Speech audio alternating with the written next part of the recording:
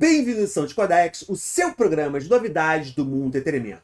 E galera, agora que o New World ele já completou 3 meses, óbvio, dependendo de quando você está assistindo esse vídeo, muitos jogadores já chegaram no endgame e já estão aproveitando o que, que você tem que fazer quando você chega no level máximo. Mas eu venho percebendo que a maioria dos jogadores não conhece um dos principais sistemas e um dos mais problemáticos do endgame, que é o Order Marking. O que seria esse sistema que está sendo tão criticado, está sendo tão atacado, de que seria um sistema de repetição, de perda de tempo ou falta de conteúdo do endgame, onde basicamente o jogador tem que ficar matando raro pelo mundo durante dias, durante semanas, durante meses, para finalmente ele poder jogar no endgame do New World. E galera, finalmente chegou aquele momento que vocês estavam esperando o ano inteiro, Black Friday do No Ping. O No Ping, como todos os anos, não poderia deixar a Black Friday, só que esse ano eles se superaram. Vocês vão poder comprar o melhor programa para reduzir a latência, o ping dos seus jogos online, reduzindo até 50 GMS no Final Fantasy XIV, World of Warcraft, Black Desert, New World, League of Legends, o jogo que você quiser, que acaba com a perda de pacote, com disconnect e ainda aumenta o seu FPS e vão pagar metade do preço. 50% de desconto. Acha que só isso já é bom? Porque tem mais. Além disso, todo mundo que comprar o No Ping durante a Black Friday, além de pagar metade do preço, ainda vai concorrer a 100, 200, 300, 500, mil? Não. 2 mil reais na Steam. Você escutou direito? 2 mil reais na Steam. Vai poder comprar a coleção completa da empresa que você quiser. O que, que você vai ter que fazer?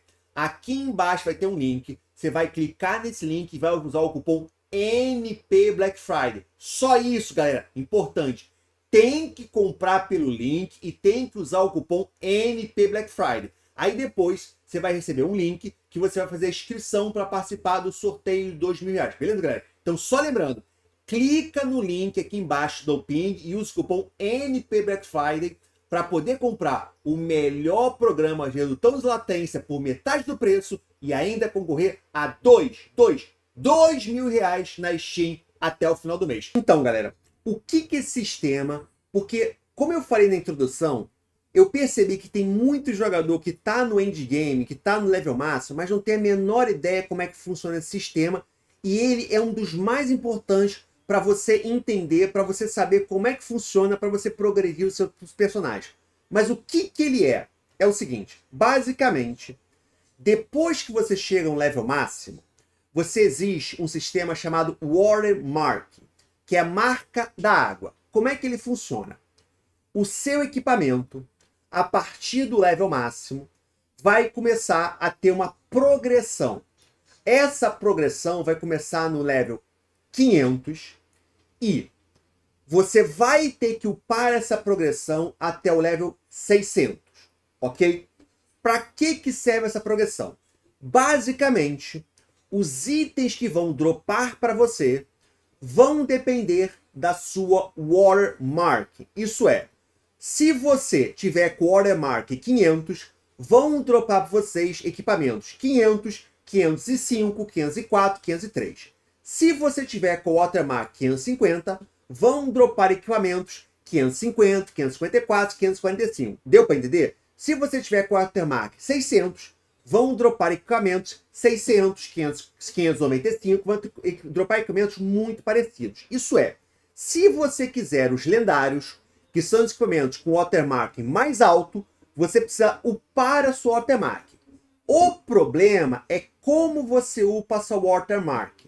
Como é que você upa? Conseguindo equipamentos de level mais alto. Isso é, você está com uma watermark 500, o que, que você vai ter que fazer? Você vai ter que matar mobs, ficar matando mob uma, duas, três, quatro, cinco vezes, até você conseguir um item 555, 500, 500, 505. Aí sua automarking vai upar, vai aumentar, aí você mata o mob de novo, a sua watermark vai, vai para 510, 515, 520 e assim vai subindo. O que isso quer dizer? Vocês devem ter visto muitos jogadores que estão no level máximo, o que, que eles fazem?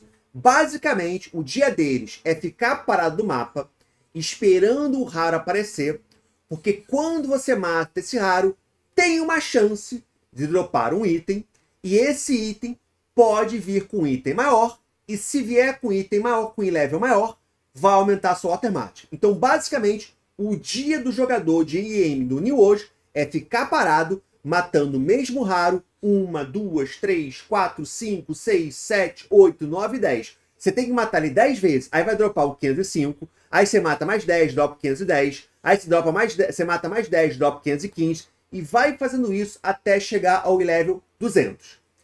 Achou o sistema ruim? Tem mais. Sabe por quê? A watermarking é por peça de armadura e por arma. Isso é, você tá jogando com machadão, e aí você tá matando mob, Drop uma rapieira 505. Aumentou a watermark só da rapieira. O seu machadão continua com watermark 500. Continuou matando, dropou o martelão, aumentou o watermark só do martelão. Se você der azar, você pode demorar muito tempo para upar sua watermarking até os 600 daquela arma que você quer.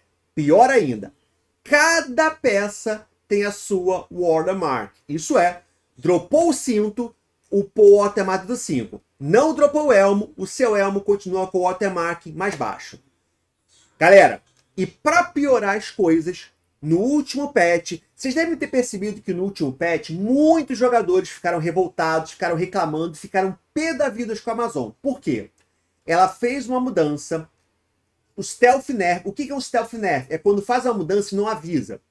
Em que ela deixou mais difícil o drop dos itens, dos raros, vai ficar mais difícil para você upar a sua watermark. Então, se há dois me um mês atrás o jogador levava um mês matando raro pelo mapa para subir o watermark, agora ele vai precisar de mais tempo para poder upar.